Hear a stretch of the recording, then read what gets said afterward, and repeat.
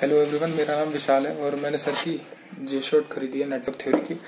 तो जो मुझे इस बुक के फीचर्स अच्छे लगे, वो फीचर ही कह लो या जो भी, जो अच्छे लगे वो आपके साथ शेयर करना चाहता हूँ ताकि आप इसे परचेज कर सके। फर्स्टली पॉइंट इसमें तो थ्योरी और एमसीक्यू दोनों एक साथ दे रखे हैं। तो जो, एक तो थ्योरी बहुत प्रिसाइज और शॉर्ट एंड प्रिसाइज वे में है। जितना चाहिए उतना ही है, ज़्यादा यूजलेस चीज़ें नहीं है। कॉम्पिटिटिव एग्ज़ाम के रिलेटेड ही तैयार करी गई है और वही टेक्निक रखी है। उतनी ही थ्योरी उतने ही एमसीक्यूज वैसे ही उसी टाइप के जैसे एग्ज़ाम में आते हैं, उसी टाइप से प्रिपेयर करा है।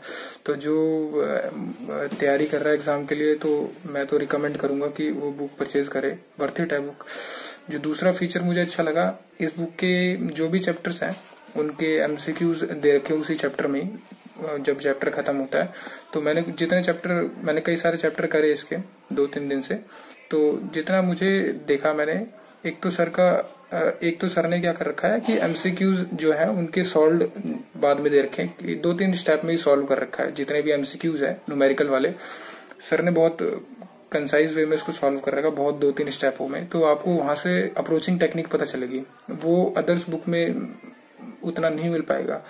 तो ये इसमें थोड़ा मुझको सही लगा कि सर के अप्रोचिंग टेक्निक वगैरह वो बहुत दो तीन स्टेप में है तो किस तरीके से सॉल्व कर रहे हैं, वो पता चल जाएगा।